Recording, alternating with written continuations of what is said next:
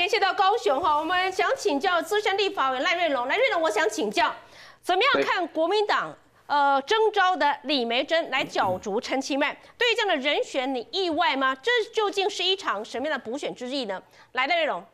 好，我想呃李梅珍在地方上谈到他的话，应该先从他的父亲谈起了哈，李荣忠哦，大家俗称绕苦的了哈。那他是一个地方的人士了哈。他早期当然是地方上的一个角头了哈，那呃为人海派了哈，所以也结交很多的朋友。那在二零二零年的时候，呃代表亲民党参选呃议员哈，那也当选哈，在左营男子区最后一席来当选哈，但是当选之后很快就卷入到了朱安雄议长的贿选案哦，所以后来就入狱了哈。所以呃他入狱后，后来也因为他的这个风格，后来呃如果大家印象深刻，在二零一五年的时候。呃，有关一个大寮监狱的这个哦郑立德的一个挟持典狱长的案件，那时候就是绕过雷哈进到了这个大寮监狱里面去，呃安抚当时六位的这个持枪来挟持典狱长的案件。那后来六个歹徒就呃自杀身亡，后来这件事情当然就解决。不过到时候大家也注意到了哈，这个绕过的他整个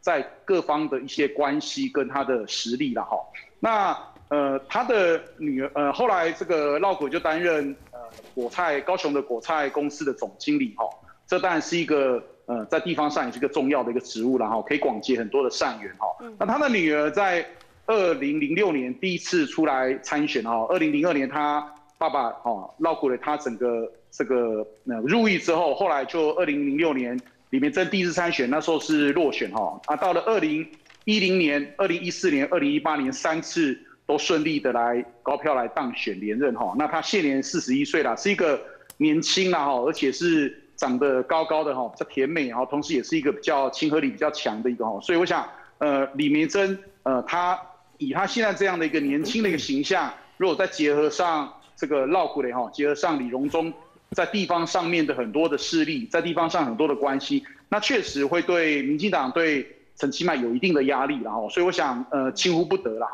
那，呃，谈到这个地方上，也要在观察最近的这个局势上的发展，然后，因为，呃，这一次韩国瑜被罢免掉了之后，那，呃，包括议长了哈，包括议长也身亡了之后，其实地方的，呃，议长的补选，就是国民党内也是势在必得了哈，因为，呃，三十一席的议员的席次哈，足以来掌握过半的一个议会，哦，所以他们在。内部原先就存在一些矛盾啊，哈，从党部的这个有分为党部派跟党团派的哈，党部的部分当然就是以庄期望，甚至于跟韩国这边互动是比较密切的，好，那那后来的党团里面，包括像曾俊杰等等，有一段时间双方有一些对于呃状况的不同的看法了，哈，那后来这次本来原先以为这个呃议长哈，这个呃辞离开了之后，那会是副议长陆淑美来顺利来接。结果，诶，党团派这边包括曾俊杰，甚至于包括地方一些不同的力量，结合曾丽燕等等，最后在党内的呃国民党内的时候，以十四票对十十七票对十四票，嗯，曾丽燕来胜出了哈。所以曾丽燕胜出了，等于是另外一个党团派一个比较跟韩国瑜过去来比较不是那么直接密切的关系的这个声音，显然有机会在议长选举来获胜。哦，所以。呃，在这样的一个角度之下，如果像最近出来的李雅静等等，如果再由这一边的人的势力来呃获得的话，那我想内部上会产生一些不平衡。所以，我想在韩国瑜哦江启臣，甚至于包括庄启旺哦地方的党部主委，我想他们经过思考慎思之后，再找寻有意愿来参选的状况下，那又比较年轻，有一些对比。那但李梅珍就成为了这个出现的一个关键的因素。嗯哼，好，呃，你提到呃李梅珍的父亲呢是现任的高雄市果菜公司的总经理哦。那我看到呃这是在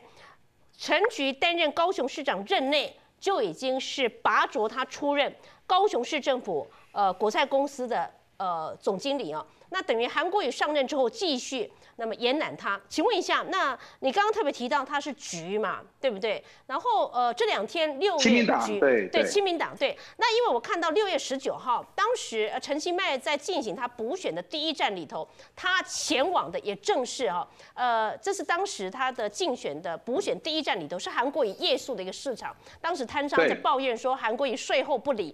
结果呢，陈其迈在六月十九号几天之前，他清晨没不到六点的时候，在补选竞选第一站这个实选的果菜批发市场，跟好几名摊商在握手。我们镜头当中所拍下的画面呢，那那个时候看到陪同他的呢，陪同他的正是现在。可能要成为他对手，就是李梅珍的爸爸，高雄果菜运销公司总经理李荣宗陪同他，陪同他还包括了高雄市呃蔬菜工会的理事长杨秀兰也陪同他。一个半小时之后呢，跟摊商做比较紧密的一个互动，因为这个地方呢，韩国瑜在二零一八年的十一月当选的第一个晚上到这个地方来夜宿。我想请教赖瑞荣。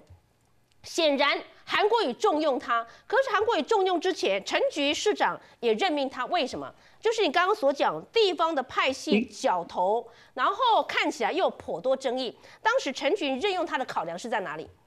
呃，我想，呃，地方上所有的人，其实在当时的执政下的时候，他当然希望收拢更多的力量来稳定执政的基础然后，那，呃，李荣忠，呃，也是一个比较海派哈，我认为比较海派的哈这个人。那在地方上面。哦，也也有广结善缘，交了非常多的朋友，所以在执政基础下，我想，呃，任何一个人，哦，任何一个人在执政的时候，都会希望去，呃，广结善缘。那李明珍本身，他的属性上虽然是国民党籍，但是也不是那么强烈的意识形态型的人，哈，所以其实，在扩大整个这个结盟的基础下，说希望让政局稳定，希望争取整个市政发展，我相信不论是。呃，这个陈菊，或者是呃韩国瑜，甚至更之前的谢长廷，包括未来如果陈其迈当选，我相信他都必须要结合更多的力量哦，为了高雄的利益整体发展哦。那我想那是一个绝对是一个思考下，所以为什么李荣忠跟所有的关系都互动，也都保持的不错哈，就是包括陈菊也会任用他，包括韩国瑜也会继续任用他哈。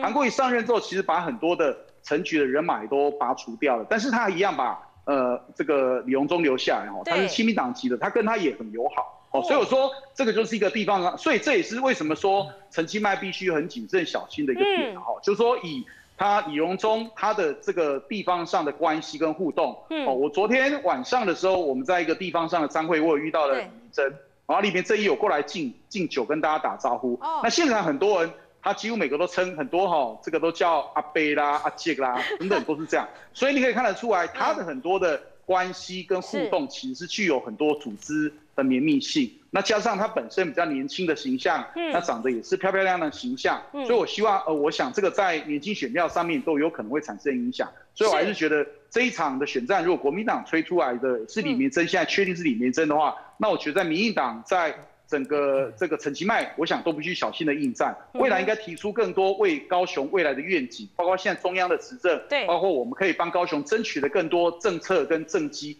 我想这也是陈其迈的强项，那应该多多的跟高雄人去说明这一场仗轻忽不得，非必须非常小心。